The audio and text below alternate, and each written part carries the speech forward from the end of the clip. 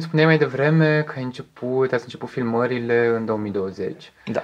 Um, și, na, sigur, filmul vostru e despre situația asta destul de sensibilă a unei ocupații ruse care se întâmplă de foarte mult timp um, în, zona, în zona Transnistriei și vreau să te întreb da, noi ne-am pus foarte mult întrebarea asta atunci când se vorbea despre Revoluția Română, nu așa? Când vine momentul potrivit să faci o comedie despre ceva cu atât de multă încărcătură afectivă precum Revoluția Română și mă întrebam uh, cum, cum a venit la tine ideea că a venit momentul să abordezi subiectul transnistrean într-o cheie comică?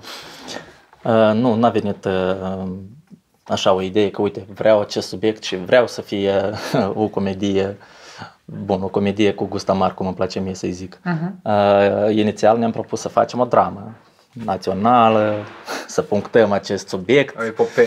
Da, am pus în ramă subiectul într-un film de ficțiune, să știe lumea că până acum uh, ce m-a atras, pe lângă multe alte chestii, acest subiect este că până acum nu am avut niciun film de ficțiune pe această temă. Uh-huh. Și am zis că cred că e momentul să fie, adică filme documentare sunt, uh-huh. dar de ficțiune nu era și am zis că asta tot e important să vorbim într-un film de ficțiune. Cum am zis, inițial doream să facem o dramă clasică, frumoasă, cu lacrimi, cu tot. Uh-huh. Dar când făceam documentarea la acest film, am fost în zonele unde a avut loc conflictul și am vorbit cu foarte multă lume de acolo și ei cumva erau așa, nu prea plângeau sau erau uh, dramatici. Vorbeau despre niște lucruri tragice, dar cu foarte multă autoironie, cu foarte mult umor. Uh-huh. Însă și scena în care noi stăteam și făceam uh, interviurile cu ei era la o masă, la un pahar de vin, cu ceva, știi, adică era destul de așa, nu prea avea loc uh, interviurile în niște condiții dramatice, adică era așa destul de de comic și ironic și vorbeau cu cu foarte multă autoironie despre cele evenimente. Și aici ne-a venit uh, mie și lui Mariana, care a și semnat scenariul, mm-hmm. ideea că poate ar trebui să schimbăm genul filmului, dacă oamenii tot vorbesc așa, de ce n-am face filmul uh, așa, de aici a venit această idee de a schimba genul. Plus atunci, încă nu era conflictul uh, din Ucraina, mm-hmm. asta se întâmpla prin 2018, aveam o părere că, zic, au trecut totuși ceva ani de atunci și cred că oamenii povestesc așa fiindcă s-au distanțat de ce, deja de acele vremuri și sunt mult mai raționali când vorbesc despre asta. Înțeleg câte țepe au fost trase societății din partea politicienilor, uh, atât din est cât și din vest, știi? Și credeam că deja am ajuns la o așa zisă maturitate încât să putem să mai și râdem de noi un pic. De aici a venit uh, genul filmului, aici s-a născut, adică nu mi l-am propus eu din start, că așa vreau eu. De altfel, atitudinea generală a filmului despre conflict e destul de nepopulară în momentul ăsta, nu așa? Adică genul ăsta de umanism, de suntem oameni de ambele părți. Nu, nu, Ai... nu, nu există. Și până în ziua de azi este un instrument foarte bun de a uh, distanța societatea și de a-i pune unii împotriva altora, mai mult ca atât. Uh, Războiul, zici. Uh, da, da, da, acel conflict de atunci. Până în ziua de azi, politicienii își fac uh, campanie electorală pe, pe seama lui și mai mult ca atât, veteranii care au uh, participat la acel conflict, până în ziua de azi pun și fac proteste și, și tot așa. Adică sunt, dintr-o parte când văd, sunt din păcate niște instrumente folosite în scop politic, că să le că de ce nu le dau pensii mai mari și tot așa, adică tot politicienii pun împotriva societății și fac... Uh, ok, sigur, dar vorbim de război la modul general, nu-i așa? Și că există... Nu așa că pacifismul e o idee utopică pe timp de pace, dar atunci când începe războiul, oamenii își pun din nou întrebarea dacă există războaie juste. Și e destul de clar, cel puțin în partea de est, că în momentul ăsta se vorbește despre un război just. Uh, despre, nu despre un război just, ci despre o apărare justă. Uh, din partea Ucrainei și ce încerc să spun este că viziunea voastră asupra uh-huh. conflictului, o viziune umanistă de suntem oameni da. de ambele părți și lucrurile astea nu au sens, e destul de nepopulară la momentul de față.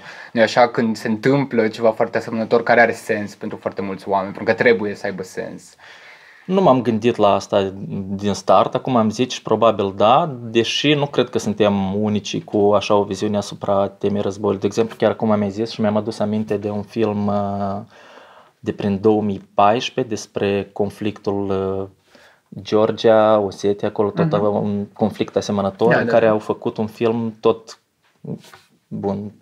Plotul filmului e că au un uh, soldat dintr-o tabără și din alta și au ajuns la un om în casă și tot filmul e problema dintre ei doi și până la urmă ei sunt, ajung să fie prieteni. Adică nu am inventat ceva nou, noi anume. Poate da, e, nu e atât de popular, dar nu cred că suntem primii care am... Clar nu sunteți primii, doar că momentul da, în acest moment, contradictoriu, asta încerc să spun. Da, da, da, da. Nu știu, așa, eu așa văd lucrurile. Adică eu când s-a întâmplat acest conflict în Republica Moldova aveam 2 ani, deci mm-hmm. nu mhm. pot să zic că știam ceva. Deja am crescut cu acest conflict nu am fost cam trăit 10 ani împreună și acum ne-au despărțit și eu am trăit asta. Eu n-am trăit. Eu deja m-am născut într-o Republică Moldova în care uh, partea stânga Nistrului era aparte, știi? Mm-hmm. Și întotdeauna nu am înțeles de ce ar trebui să avem aceste probleme, fiindcă noi comunicăm cu oameni de acolo. Oameni de acolo vin în partea asta, discută cu noi, unii lucrează, au uh, foarte multe chestii împreună. Adică conflictul în sine între societate nu este. Este un conflict artificial creat mm. de politicieni până la urmă. Mm-hmm. Și păcat că foarte multă lume încă mai pune botul și crede în asta, știi? Mm-hmm. Adică, de fapt, oamenii nu au un conflict. Când se mai aduce aminte la televizor, da, iar se încep niște discrepanțe și niște scandaluri, dar în sine oamenii nu au o, o problemă între ei și asta mi se pare absurd. Și totuși, în ciuda faptului că vezi războiul ca pe o absurditate, pare că crezi într-o morală a războiului, nu așa? Există, există de bărbați în filmul tău, unul trecut prin războiul din Afganistan, celălalt, sigur, dornic să se alăture câmpului de luptă Naiv. din Transnistria. Da, sigur, e și o diferență de vârstă considerabilă. Uh, dar, dar pare că în personajul matur tu investești o deontologie a războiului, o morală a războiului, etica războiului, cum să duci războiul la bun sfârșit păstrându-ți oarecare demnitate atât față de tine cât și față de adversar. Poți să-mi spui puțin despre construcția asta a omului trecut prin război și înțelept, ca să zicem așa? Uite, personajul Vasea nu este întâmplător, fiindcă dacă excludem acest personaj din film, rămânem doar cu o comedie uh, unde râdem gratis, uh-huh. pe seama unui conflict dramatic, ceea ce nu e ok. Uh, pentru mine, personajul Vasea este acel om care a trecut deja prin ceea ce va trece Republica Moldova în, în film, în, uh-huh. în acea perioadă. Deja și-a învățat lecțiile de acolo, fiindcă el, probabil, dacă am face biografia personajului Vasea, probabil el era la fel când s-a dus. Mai mult ca atât, la el e mai dramatic. El n-a luptat pentru țara lui. El a mhm. luptat uh-huh. pentru o cauză cum a fost trimisă undeva acolo să lupte pentru cineva în care el cine era. Mm-hmm. Problema este când se întoarce el înapoi, fiindcă acest om a fost trimis într-un conflict să lupte și a venit înapoi și el este exclus din societate. Da? Uh, acești oameni de obicei uh, cad în patima alcoolului, cad în depresii uh, și nu sunt acceptați de societate și de fapt ei sunt cei care au luptat pentru noi. Și, și pentru asta apare acest, acest personaj în, în film cu care chiar am vrut să, să empatizăm și să nu îi lăsăm așa, mai ales generația tânără care habar nu are de nimic și zice, a, ăsta e, a fost în, în război, e traumat, e, adică e cumva e, e exclus din societate. Decizia de a filma într-un sat deșertic Um, a avut de-a face cu faptul că e un film de epocă și firește că știm că spațiile urbane sunt mult mai greu de controlat atunci când încerci uh-huh. să te joci de mașina timpului um, sau ai vrut să se întâmple la periferia ceva? Sau s-a fi putut la fel de bine întâmpla în Chișinău în termen de acțiune? Mm, uh, uite, hai să pornim totuși de la faptul că Republica Moldova este mai mult rurală decât urbană. Uh-huh. Uh, Doi, uh, conflictele care au fost s-au întâmplat într-un mediu rural, nu s-a întâmplat într-un mediu urban. Uh-huh. Trei, am încercat, noi n-am făcut un film istoric, adică da. nu mi-asum că am făcut un, uh-huh. un este treaba istoricilor, noi n-am vrut să rescriem istoria sau să arătăm cum au fost lucrurile. Și am plasat acele evenimente nu în centrul evenimentelor unde s-au folosit și tancuri și nu știu ce. Am plasat un pic mai, că acele conflicte au fost în unele zone mult mai acute cu armament foarte mai puternic, adică la nivel de arme, tancuri și așa mai departe. Și în unele zone unde a fost așa mai mai pe cu ce au oamenii luptau, știi? Așa. Și nu, nu ne-a interesat asta să arătăm uh, luptele pe bune, ne-a, arătat, ne-a interesat mai mult să arătăm uh, absurditatea războiului sau a conflictului. În primul rând nici nu știu dacă îl putem numi război, război ce s-a întâmplat. Adică mm-hmm. totuși până la urmă cred că a fost o farsă în care am fost uh, atrași oamenii și și acum de asta probabil și vorbesc cu autoironie despre cele evenimente. Cu siguranță poziția noastră nu este că vrem să râdem sau să... De ce? Că cu siguranță știm, au murit oameni acolo. Dar, dar totuși a fost absurd ceea ce s-a întâmplat și din păcate cred că asta se poate repeta. Cred că atunci când făceam de la început filmul, credeam că e o chestie care s-a întâmplat în trecut și nu ne mai privește așa ceva, dar din ce, dacă ne raportăm la prezent, cred că trebuie să tragem niște concluzii și să fim puțin mai, să o luăm un pic mai ușor cu propaganda care ni se spune din diferite surse astăzi, de la televizor, internet, absolut din orice și să înțelegi de ce trebuie să-mi spună mie cineva de la televizor că eu cu vecinul meu care mă înțeleg de o viață foarte bine de mâine ne este dușman, de ce mm-hmm. trebuie să fim să o luăm atât din serios. Mm-hmm. Adică chiar ce cred că relația care o avem noi în societate este mult mai valoroasă decât ceea ce ni se spune azi, ne-am trezit dimineață, de mâine, bucata asta de sat este inamicul nostru. Păi stai că suntem rude, avem rude și aici și acolo, adică e un pic, e un pic utopic și din păcate suntem foarte ușor de influențați. Mm-hmm. Și spune puțin despre protagonistul tău, care pare a fi un băiat care merge în voia vântului, așa cum l-ai construit. Uite, după căderea Uniunii Sovietice în anii 90, mai ales societatea mai intelectuală, foarte mult au căzut în, în depresii, nu și mai vedeau rostul, fiindcă au avut niște idealuri până atunci. A fost un, o societate în care erau niște etichete și brusc ne-am trezit independenți în care oamenii nu mai aveau valoare. Absolut, că ești profesor, că ești un om de la țară, adică absolut nimic. În acea perioadă foarte mulți oameni se căutau căi ușoare de a, de a străbate, de a merge mai departe, da. de a supraviețui, știi? Și pentru mine Dima este un astfel de personaj care nu, nu a căzut în depresie sau a încercat să caute căi ușoare. De obicei, acești oameni în societate sunt văzuți ca niște oameni profitori, ca niște oameni nu în cea mai bună lumină. Ceea ce mie mi se pare că nu, nu e o chestie făcută din rea intenție, adică fiecare are un instinct de supraviețuire diferit. Uh, și așa este și Dima pentru mine, adică e un om care încerca să prindă cumva o bucățică mai bună prin căi mai ușoare. Uh-huh. Ceea ce nu înseamnă că sunt niște oameni negativi, adică și asta am încercat până și transformarea lui până la sfârșitul filmului, fiindcă totuși este un om și el și conștiința lui a fost mai puternică până la urmă decât uh, intențiile care le-a avut uh, la începutul filmului. Clar, clar, dar ce interesant la el e că e și un tip care din gestică, din felul în care e jucat ca personaj, pare că nu știe să articuleze, că e greu să comunice. Da, dacă ne ducem în biografia lui, este un băiat care nici nu a prea avut parte de mare educație, nici nu a avut de une. Adică când vii dintr-un așa un mediu, probabil știi cum, nici nu poți să îl judeci pe acel om, fiindcă e clar din ce mediu vine. Adică Sigur, dar poate ne spui puțin cum ai lucrat cu actorul în sensul ăsta de conturare a unui care are un, un personaj gestic, să zicem așa. Uh, în primul rând, când l-am ales pe Dumitru Roman, uh, l-am ales în primul rând um, pentru uh, ochii lui, mm-hmm. pentru privirea lui, fiindcă avea această uh, blajinitate și naivitate totodată, deja îi avea în ochi. Mm-hmm. Plus, uh, cât, uh, cât lucram cu el, nu știu, mie mi-a fost foarte ușor anume cu Dumitru să lucrez, fiindcă el foarte repede prindea, foarte repede, el înțelegea uh-huh. foarte bine. Mm, plus uh, și el vine dintr-un mediu asemănător, adică știe foarte multe prototipuri de, de acest gen de oameni, știi? Uh-huh. Și, și lui a fost și prindea, prindea foarte, foarte ușor toate mm, gesturile, toate mimicile, adică nu, nu mi-a fost uh, atât de greu.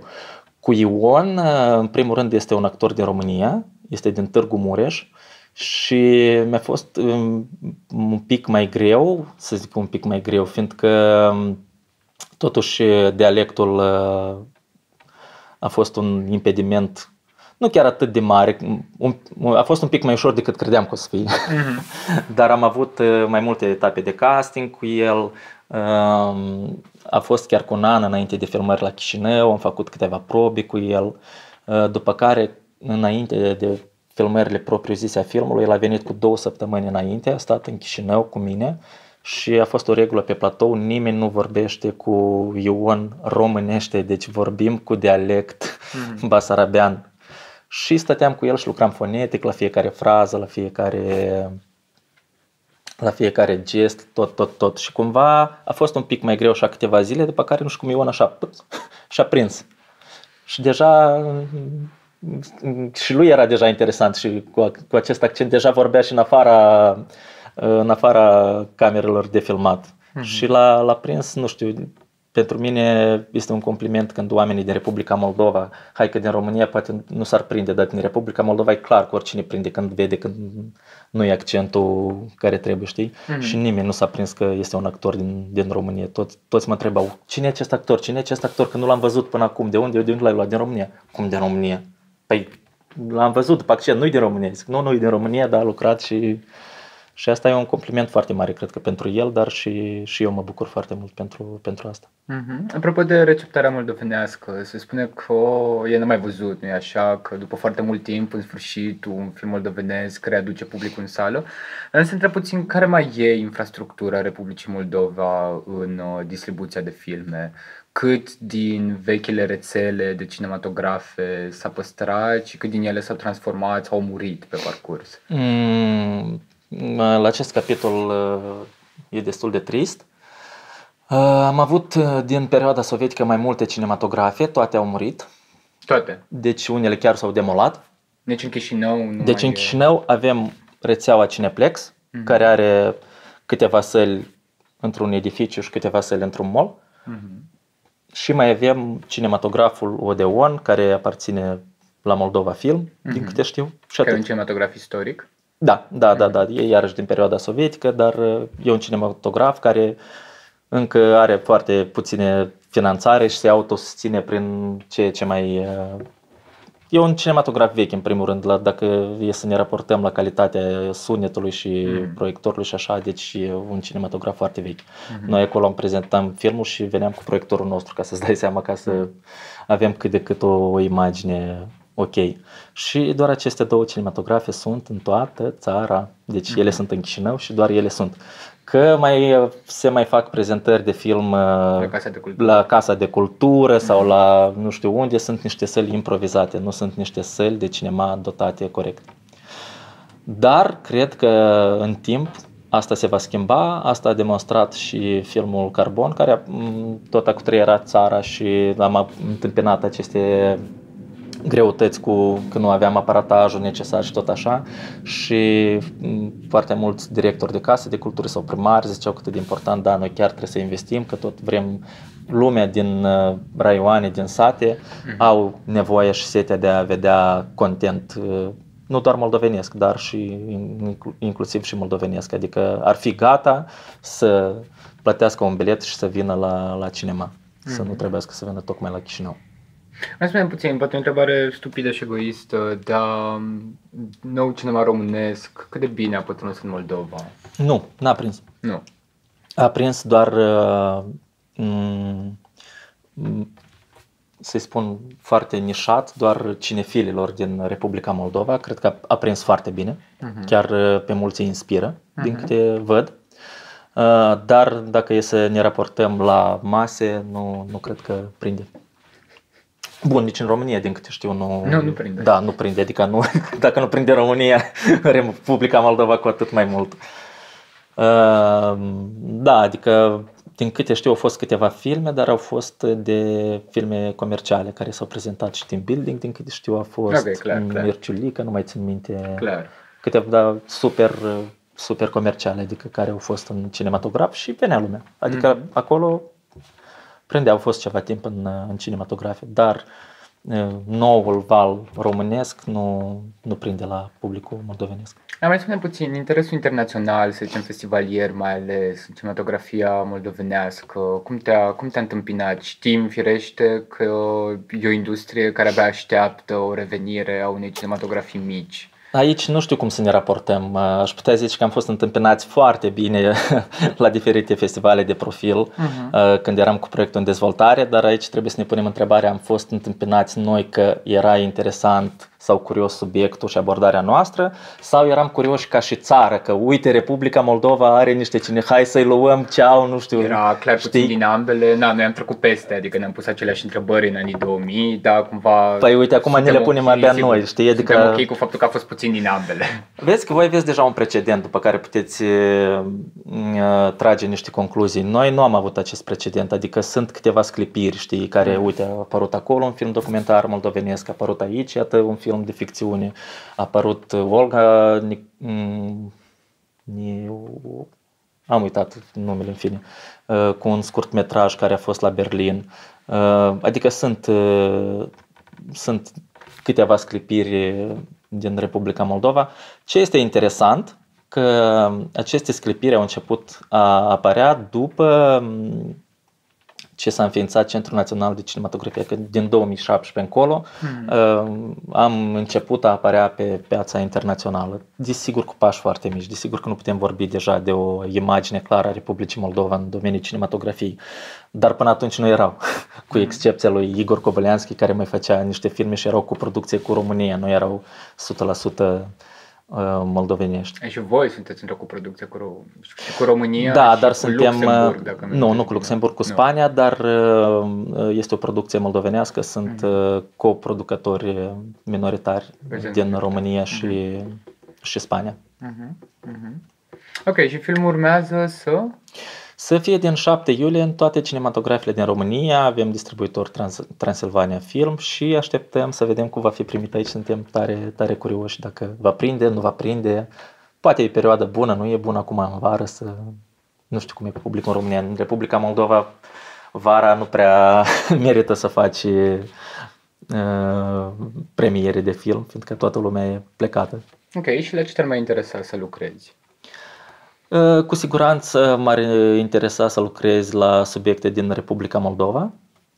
Uh, nu sunt neapărat uh, fixat pe evenimente istorice sau, adică nu asta m-a pornit să fac filmul Carbon, m-a pornit de la faptul că tatăl meu a luptat acolo și el și mi-a spus aceste istorii și de aici am săpat. Nu mm-hmm. am eu o mare deosebit atenție asupra evenimentelor istorice, dar uh, nu știu, sunt uh, regizori în Republica Moldova care câteodată zic eu mă pornesc de acasă, ajung până la serviciu și am 10 uh, scenarii de film la care aș putea lucra. Eu nu sunt așa, pentru mine e foarte greu să găsesc un, uh, un subiect care să să-mi placă și să chiar să vreau să lucrez la el. Am uh, câteva idei în cap care încă nu știu o să le realizez sau nu, încă nu sunt la faza de flirt cu ele. Uh-huh. Încă nu știu dacă chiar merită să fac un film despre ele sau nu. Și în termen de cinema, te interesează în continuare un um, cinema mai degrabă popular sau uh, mai și alte interese? Uh, uite, eu am făcut un scurt metraj uh, inspirat din noul val românesc. am fost inspirat și eu. Uh, și a ieșit uh, destul de ok, a fost primit bine acasă, a fost premiat și la câteva festivale internaționale. Uh-huh. Dar uh, înainte de a începe proiectul Carbon, uh, am zis că uite l-am făcut, dar nu mă regăsesc totalmente. Deja după ce trecuse ceva timp, am zis că uite mă uit la el și nu știu dacă mă regăsesc, nu știu cât de mult sunt eu acolo și cât de mult m-am inspirat din ceva care am vrut să fiu și eu așa, știi? Uh-huh. Și la carbon cumva am încercat să fiu mult mai sincer cu mine și să fac așa cum cred eu. Uh, iarăși am început acel, acest film al face din pură naivitate și entuziasm, adică nu avem cumva o strategie concretă cum trebuie să funcționeze un film, targetăm publicul, genul, adică chiar adică am făcut dintr-o naivitate, dar uh, cu siguranță când am început a face filmul Carbon, nu mi-am imaginat că o să fie un film de public, un film uh, comercial, știi? Sau din contra, un film uh, de cinema, un film uh, mai nișat, știi? Aia, și ele s-au... Știai în ce tradiție merge, nu-i așa? Adică știai că va avea un montaj rapid, știai că vor veni momente de muzică, adică lucrurile astea, sigur că te apropii de tradiția receptării largi, a populară. Asta a venit popular. mai târziu, asta a venit mai târziu. Când mi-a venit ideea, credeam iarăși că va fi așa un film nu prea pentru publicul larg, larg, larg, să zic așa, mm-hmm. știi? Dar treptat, treptat, când uh, se dezvolta scenariul, deja mi imaginam că, că da, voi folosi niște chestii mult mai clasice și mult mai... Pentru mine era importantă istoria. Uh, eu, iar, eu, eu nu sunt regizor de profesie. Mm-hmm. Eu am făcut actorie. Uh-huh. Și pentru mine mai mult contează istoria și emoția pe care o poate da istoria uh-huh. și poate din cauza asta mai puțin uh, mă interesează că o să folosesc uh, un gen sau altul. Important cum, cum este mai bine de povestit istoria asta mă interesează. Uh-huh. Adică dacă cred că sunt destul de tânăr și am prea puțină experiență ca să zic că știi, pe mine mă interesează să fac filme doar uh, de comedie. Sunt bun mm. în comedie sau sunt bun. Scurtmetrajul plus minus unul care l-am făcut este o dramă uh, realistă, mm. cadre lungi și tot așa, știi? Și uite, Carbon e total opus la ce am făcut la acel scurtmetraj. Probabil ceea ce mă alimentează pe mine este cât de mult rezonez cu istoria și mai puțin mă interesează ce, dacă simt că trebuie să fie horror, probabil o să fie horror. Deci pe sau probabil o să treacă. are propria formă. Da, da. Sau mm-hmm. probabil o să treacă niște timp și o să-mi schimb părerea. Cred că acum e devreme să, să-mi pun niște diagnoze.